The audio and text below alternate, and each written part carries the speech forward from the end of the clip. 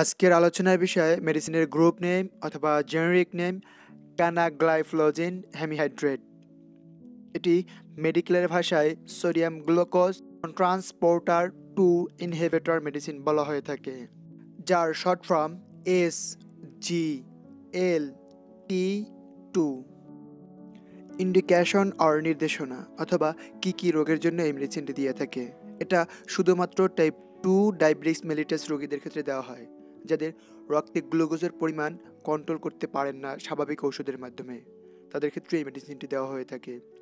এটা type one diabetics রোগীদের ক্ষেত্রে দেওয়া যাবে না। কন্ট্রাইন্ডিকেশন আর প্রতিনির্দেশনা অথবা অন্য ঔষধের সাথে প্রতিক্রিয়া।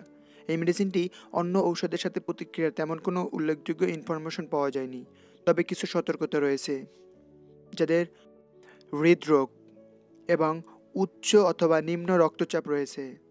বয়স্ক রোগীদের ক্ষেত্রে, যাদের প্রস্রাবে ইনফেকশন আছে কিডনি অথবা লিভারে অক্ষমতা আছে, তাদের ক্ষেত্রে সতর্কতার সাথে ডক্টরের পরামর্শ অনুযায়ী ব্যবহার করা উচিত।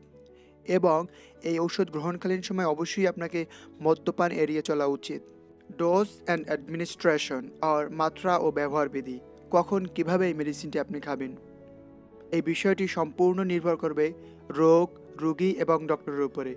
তারপরও কিছু বেসিক কথা আমি বলছি। যাদের বয়স আঠারো বছরের উপরে, তাদের জন্য এই মেডিসিন হান্ড্রেড এমজি দিয়ে শুরু করতে হবে, দিনে একবার।